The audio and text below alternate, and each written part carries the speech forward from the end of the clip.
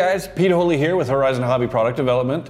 Uh, so if you saw the Tech Talk on the Inductrix Switch Air, you know that uh, we actually have a firmware update available for the Inductrix Switch. So if you guys have one at home and you wanted to turn your Inductrix Switch into an Inductrix Switch Air, we can do that. So we'll jump down into the computer here. I'll show you the software that you'll need uh, and the firmware, and that's all available on horizonhobby.com.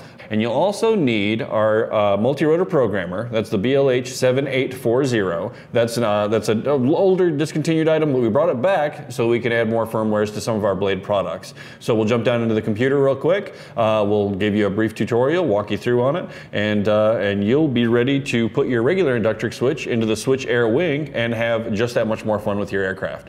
So here we are, and I'm just going to plug this into the USB port. Um, there are a couple of different drivers. So this is a uh, virtual COM port driver.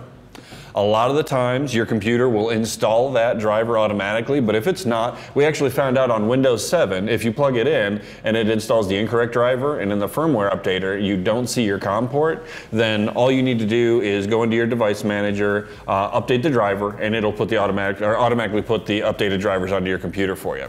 So uh, the first thing I'm going to do is I'm going to take my Inductrix switch and I'm going to plug my multi-rotor programmer right into the top port here. Uh, it's sticking out right on top nice and proud, really easy for you to find there. So we just take the multi-rotor programmer, plug it in right there, and we're done as far as this goes for right now. So we'll jump into the computer here. Uh, the uh, bundle that you'll download from horizonhobby.com will have your safe firmware updater, and it also have the Inductrix Switch Air firmware. So we open up the firmware updater, and the first thing that we want to do is we want to browse for the file that we're going to use. And uh, that's right here within the package. We open that package up. And the next thing that we do is we want to browse to the proper COM port. If your uh, drivers are installed properly, uh, it'll show up as a COM port. It'll automatically detect it, and we'll select it right there. So we have our uh, actual firmware installed. We have the part port in there correctly.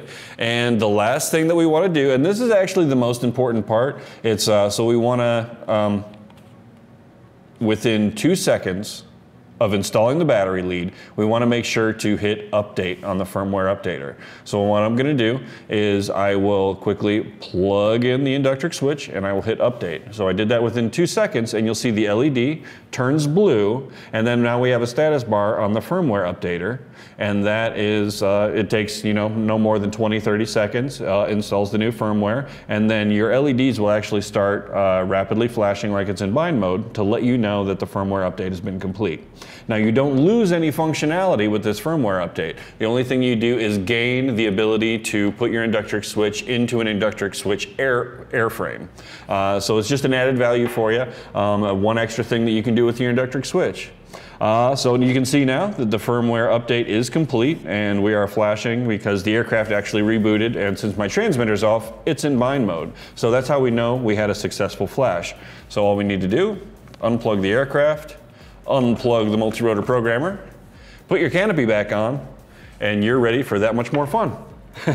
All right, guys, so if you have any additional questions about this process, feel free to go to horizonhobby.com. Uh, give us a shout. Any questions you might have, we'll be happy to answer for them. Uh, so have a good one. We'll see you next time.